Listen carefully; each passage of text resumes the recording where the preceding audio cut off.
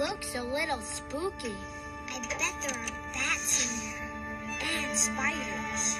Spiders and bats. Bats and spiders. Spiders and bats. Bats and spiders. Spiders and bats. Bats and spiders. Spiders and bats.